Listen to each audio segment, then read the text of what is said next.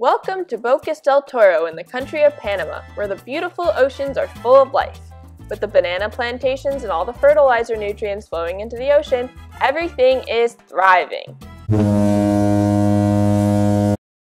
With increased nutrient loading from land, algae grows faster than ever, feeding more and more bacteria, which is consuming oxygen. Unfortunately, without sufficient oxygen, some of the coral reefs in the beautiful waters of Panama look like this, instead of this. Do you see these fish here?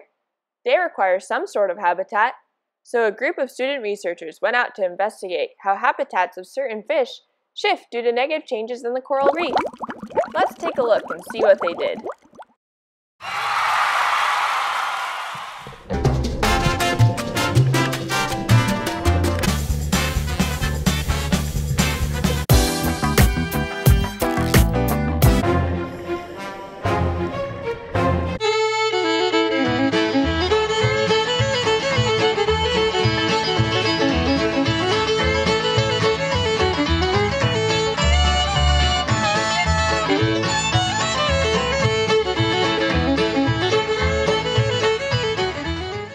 With our quadrats and transects, we were able to count the amount of fish on the reef, what types of habitats Nigel, Justin, Rodney, and Jessie live under, and what types of organisms make up the coral reefs, such as hard corals, soft corals, sponges, algae, or sand.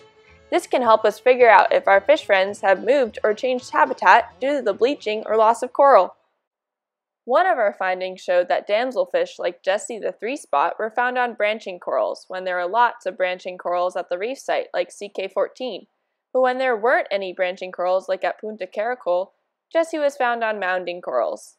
With the shift in different types of corals, these three spot damselfish found new niches to live and defend. Now, we don't have sufficient data to make big conclusions about these reefs and the fishes, but it is important to know that humans have a great effect on how ecosystems like coral reefs function. So what can you do at home to help our fish friends? 1. Try to walk or bike to places so you reduce your car and fuel use. 2. Limit the amount of chemicals you use on your lawn or in your gardens. 3.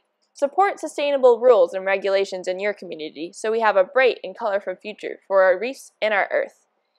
If you would like to learn more about hypoxia, nutrient loading, coral bleaching, and how you can help in your community, Visit NOAA.gov for more helpful tips.